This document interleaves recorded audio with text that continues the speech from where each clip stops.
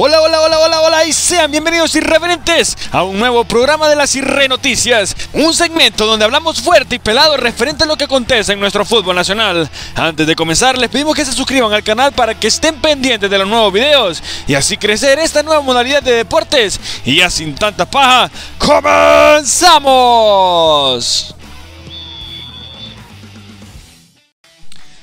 Nuevos legionarios en el balompié hondureño.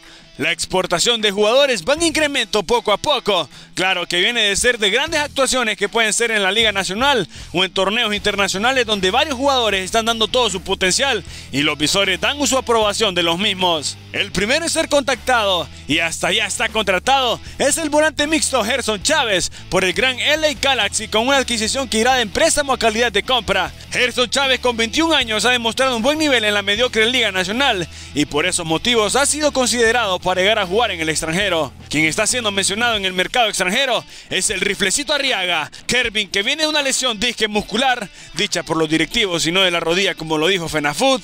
Arriaga está siendo mencionado que iría a un equipo grande en Europa y es nada más y nada menos que el Celtic de Glasgow de Escocia.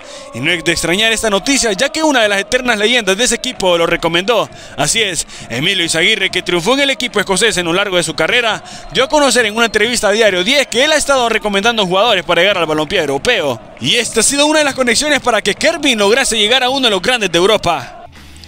El Kung Fu Espinosa es un ídolo en Kansas. Desde el 2008 que Roger Espinosa defiende la camiseta del Sporting Kansas City con un corte de tres temporadas en el Wigan Athletic de la Premier League. En total, el Catracho representó al club de la MLS en 270 partidos y se metió de lleno en la historia grande del conjunto estadounidense. Debido a esto, los fanáticos del equipo norteamericano decidieron hacerle una bandera en homenaje y la mostraron en el último encuentro contra el FC Dallas. Además, casi coreográficamente aplaudieron al futbolista hondureño por todo lo que le dio la institución en estos años.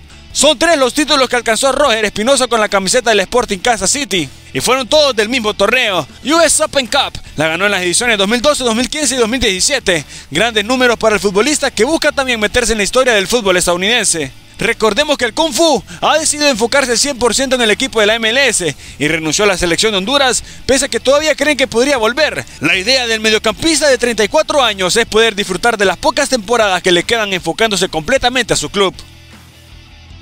México se va a dormir sin oro. Luego que todos los aficionados aztecas esperaban que ganaran la Copa Oro y los Juegos Olímpicos, pues todo se derrumbó en un lapso de días. Sigue siendo un trago amargo para este país que se cree potencia mundial. Tres fracasos en menos de dos meses. Perdieron dos finales contra Estados Unidos y ahora son eliminados en los Juegos Olímpicos, pero todavía tienen la esperanza en llevársela de bronce. Y es que el campeón olímpico Brasil derrotó a México por 4 a 1 en la definición por penales, tras mantenerse el 0 a 0 en los 120 minutos de juego, y se clasificó a la final del torneo de fútbol masculino de los Juegos Olímpicos de Tokio. Este martes en Kachima es la cita, tomándose la revancha de la caída por el oro en Londres 2012.